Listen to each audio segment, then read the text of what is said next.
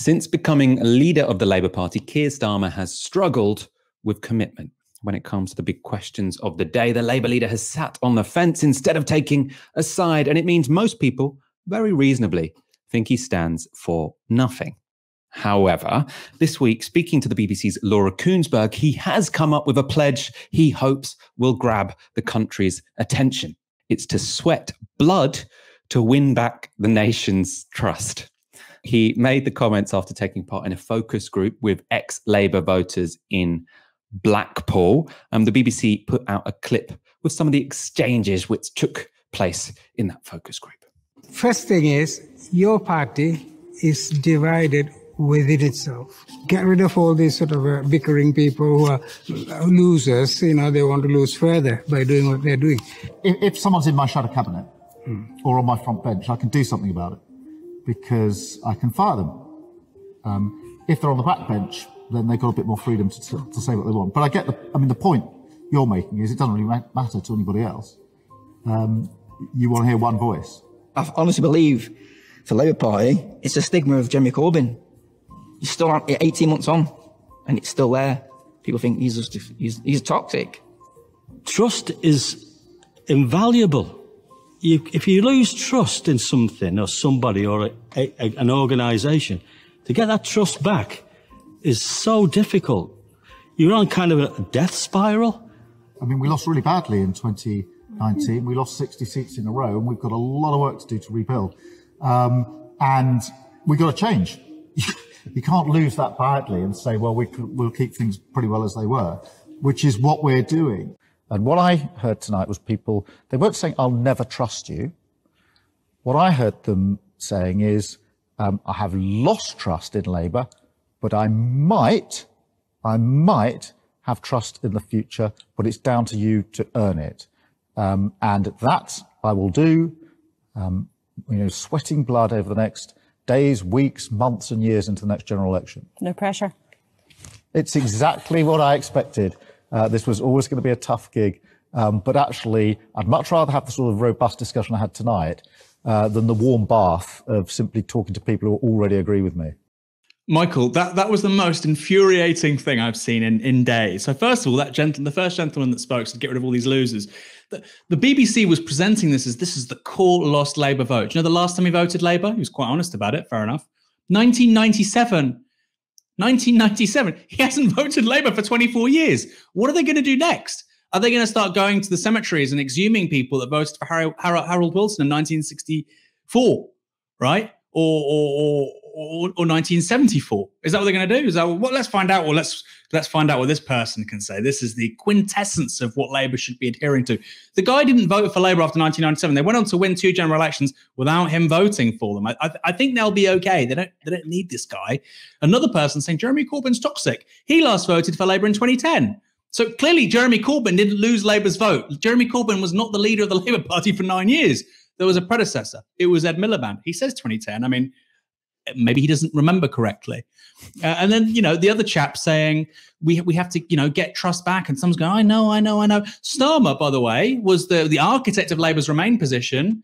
Blackpool South voted 67.5% to leave the European Union. And he slapped those people in the face saying, no, we're going to have another, another referendum. But the lost, the lost trust, nothing to do with me, Gov. And this to me says a few things, Michael. Firstly, he has a pathological, and this is really, this is so dislikable. He has a pathological aversion to taking responsibility, but he does this corporate thing where he says, I'm going to take responsibility. And then he takes zero responsibility. Zero. He's never taken any responsibility for the Brexit petition. Never. Not one iota of responsibility for it. And the fact this is being broadcast on the BBC, what is this? Is this a proper exercise to collect data? Focus groups do that. Or is this a media stunt?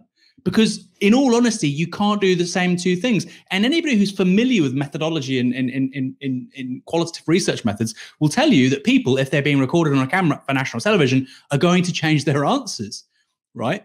You, you change the conditions under which you ask the questions and you get different answers. So methodologically it makes this focus group quite weak.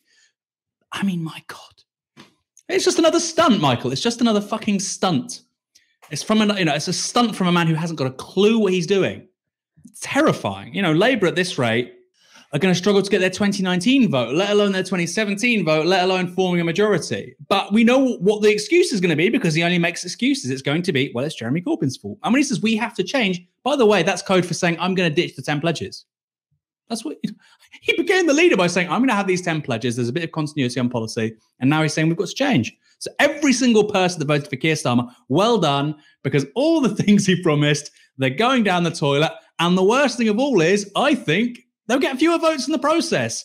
The worst guy at the worst time to be leader of the Labour Party right now, when the political dial could have moved so far, so quickly during the course of this pandemic.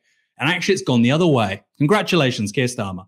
There is also a political purpose to this kind of self-flagellation tour, which is he is very specifically talking to people who are you know, ex-Labour voters, as you say, some of them not since 1997, and this is all part of justifying his project to take the party to the right. What it completely ignores is that just because people who voted for you in, in 2019, you might not see them as a priority, but they can go elsewhere. And if it seems as if you only care about the people who didn't vote Labour last time around, they're not going to take particularly kindly to that. And that does seem to be the way that Keir Starmer behaves. He essentially says, if you voted Labour in 2019, you're a bit of an idiot. What kind of idiot would have trusted us in 2019? We have to build back that trust because only idiots voted for us then. People don't like that.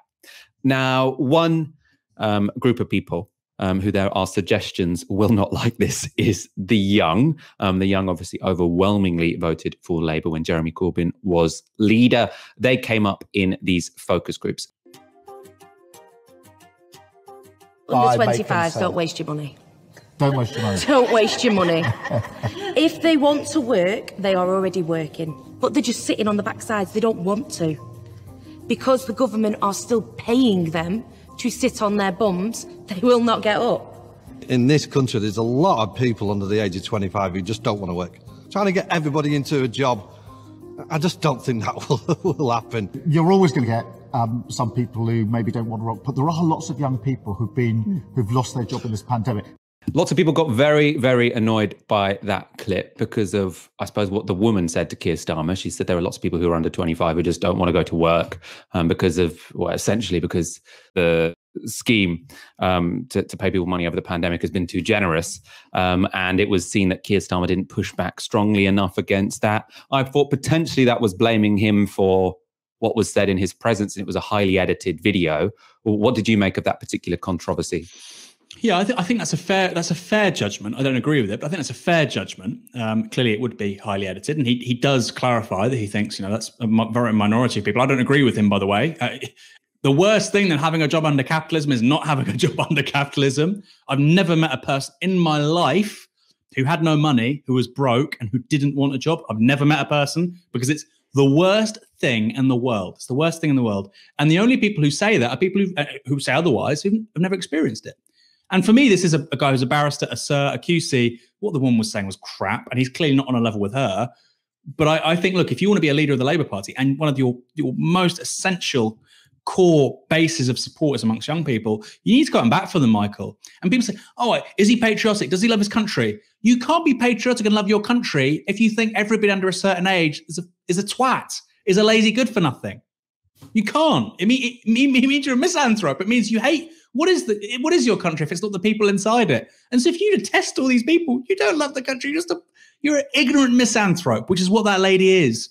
And sadly, we saw this with the was it the Gillian Duffy quote in 2010? You know, Gordon Brown apologized for calling her a racist bigot. She was a racist bigot. And Labour needs to have the front like Biden with the Democrats. Sorry, madam, I disagree. That's what he said. And you know what? People go, well, I really like this guy. That's really impressive. He, he has the front to say, I disagree. Yeah, I disagree. I've never met a young person who needs work who refuses a job because they need the money. Sorry. Maybe we've had different experiences in life. No, under 25s don't want to work. Who's serving your coffee? Who's who's who's who's who's cleaning your clothes? Who's cleaning your office?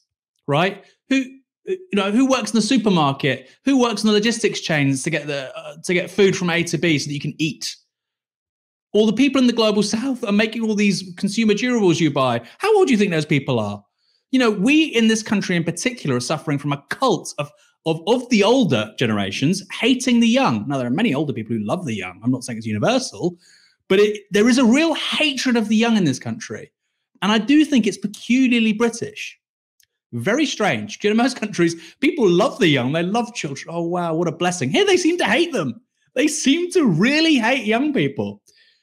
I, have often thought it's inexplicable, but increasingly it, that's also that's now also running along class lines and also, you know, cultural lines. They disagree. They have a different relationship to the means of production. They are less likely to be asset owners. They're generation rent. As a result, they have different political views. And that is just adding sort of kerosene to the boomer fire of, of, these people hating the young. It's really sad, Michael. It is really, really, really sad because I think it makes those people even more miserable. It's good for nobody. And, and I think fundamentally it's an outgrowth of the media environment in this country. But the last thing you want to do is concede an inch to it.